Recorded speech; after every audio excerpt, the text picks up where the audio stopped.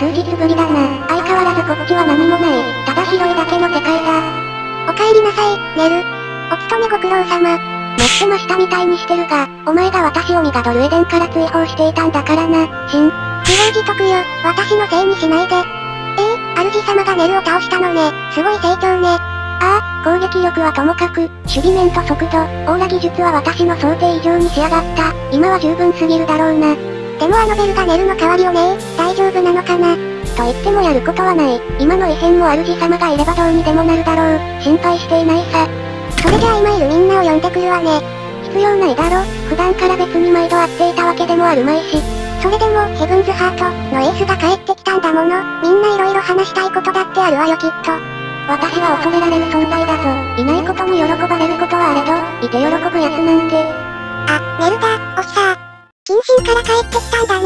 なら以前の約束通りメルの空間に遊びに行っていい？フラか、そうだな。あれから私はずっと現実世界にいたからな。いいだろう。私は今ですペナルティ期間でオーラをあまり消費したくないからな。それじゃあまた後で行くよ。現実世界の話聞きたいしね。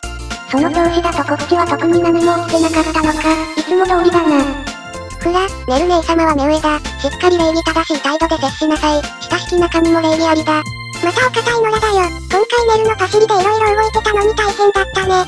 パシリではない。ネル姉様ではミガドルエデン関係の問題に手出しできなかったから代わりに私が言っていただけだ。そうでなければネル姉様がやっている。そんなことないぞ。野良がダメなら大体は真をパシらせているからな。ほら、真はネルの実の妹なのにまだそんなこともわからないんだね。今度からちゃんと自分でしてくださいよ、ネル。無理無理、豪邸だよ。自分でやってたら豪邸じゃないじゃん。相変わらず堅苦しいなのら、少しはフラを見習え。ネル姉様、お帰りなさい。ウルカ、テルの剣、助かったぞ。しっかり教育してやれ。しっかりと功績を残したからな。私はあいつが構成員になるなら推薦しよう。はい、ですがネル姉様のところに数日行っていただけでやけに暴力的になったと思うんですが、女性だからな、それくらい問題ないだろう。許容範囲だ。はあ。ネル、どこかに行くの？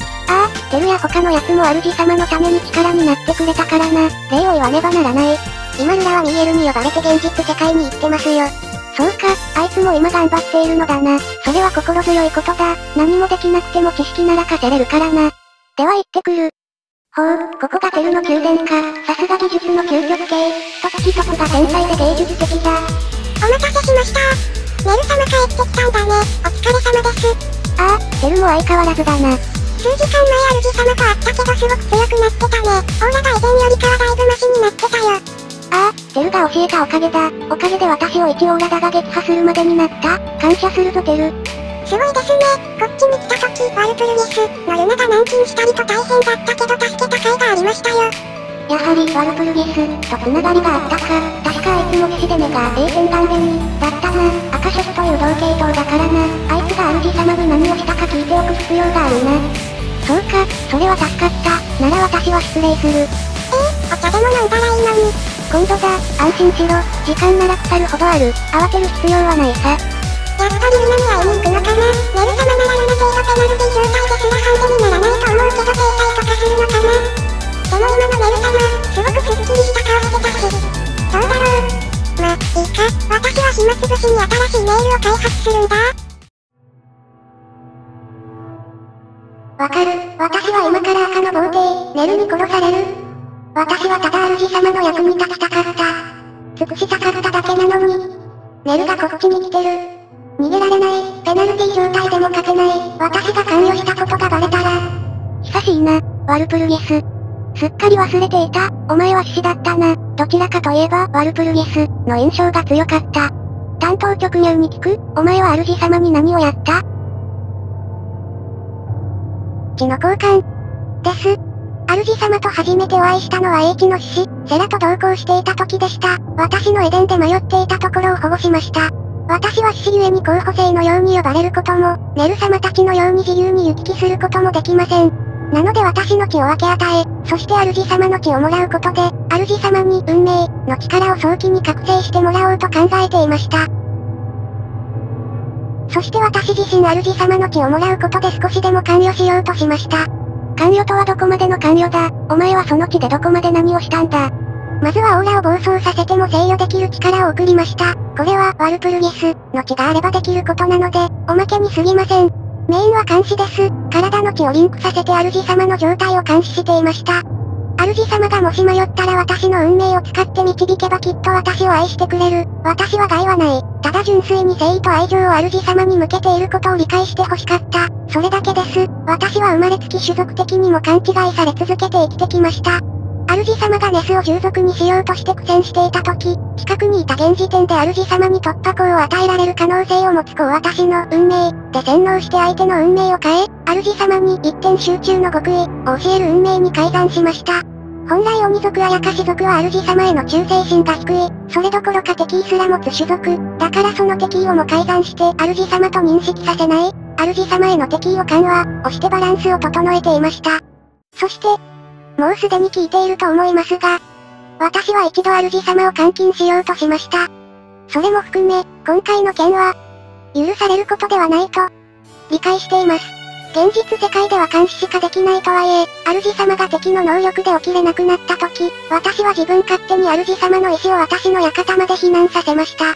身勝手なことをして申し訳ございません。もう関与いたしません。なのでどうか、命だけは。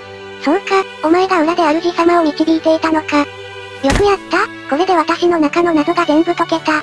罰を、与えないのですか？当然だ、お前がやったことは決して褒められるものではない。堅物のミールや芯が聞けば契約違反だと怒っていただろうな。だが私は正直どうでもいい。なんだったら私も謹慎されていた身分だ。バレてないなら私が黙っていれば終わりの話だ。そうだろう。胸を張れ。お前がやったことは間違いなく主様を導いた。お前は正しい。たとえこの世界のルールでは間違っていてもだ。私がそれを認める。監禁したことは、どうせ制裁を受けたのだろう。なら私が加える必要もなければけじめがついた話をいつまでも引っ張り続けるのは野暮だろう。それにお前の血が入っているというので納得したんだ。主様の目が覚醒してからなんであそこまで動きが格段と良くなったのか。あれは核ではない。なぜなら動きの先の弱点や急所まで見えていたからだ。だが紅でもない。なぜなら紅だけなら、点検は見えないからだ。つまり、角と紅の混合色、そうだな。A 点ガンホ村、といったところか、赤系統同士の混合色だから特別な名称でもいいだろう。運命を見定め、そして正確に相手の弱点や急所を見通すね。これは私だけではできなかった。私はお前が気に入った。もしお前が候補生から構成員になるとき、私が推薦しよう。そして私直々お前の教育係として導いてやる。いいの法廷は暴落無人の印象が強いが、常識やルールにもとらわれない自由人、というどこまでも自由という象徴もあるのだ。運命の究極系と攻撃の究極系がタップを組めば自由な運命をつかみ取ることもできる。最高だとは思わないか。いいのかしら私があなたに認めてもらって。なら己に自信が持てるように精進するんだな。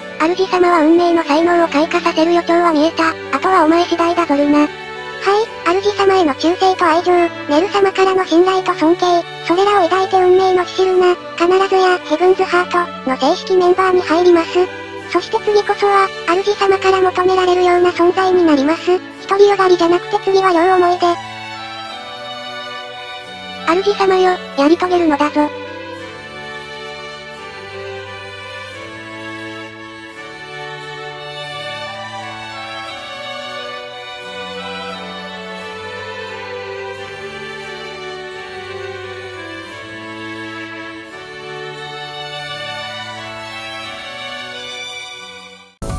視聴ありがとうございました。動画は楽しんでくれましたか？くれましたか？気に入ってくれた人はチャンネル登録してね。してくれたら嬉しいな。私はもうしてるわ。次も気になりますしね。過去の動画は再生リストで確認できますよ。しっかりまとまってるから見たい動画がすぐに見つかります。それはぜひ見ないとね。見てねー。次の動画までお別れですね。また次の動画で会いましょう。約束ですよ。それじゃあ次回もお楽しみに